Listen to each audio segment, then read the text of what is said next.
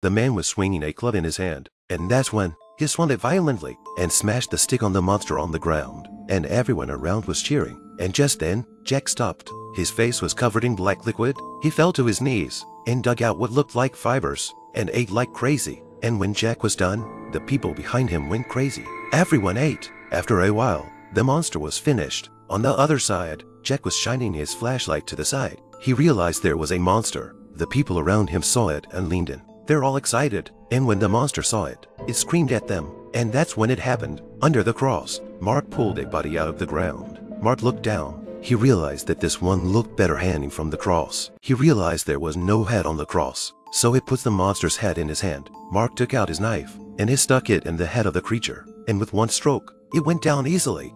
Then he went to the cross. He got to the cross, and he climbed up and put the monster's head on it. And he took a good look. There was a man on the cross.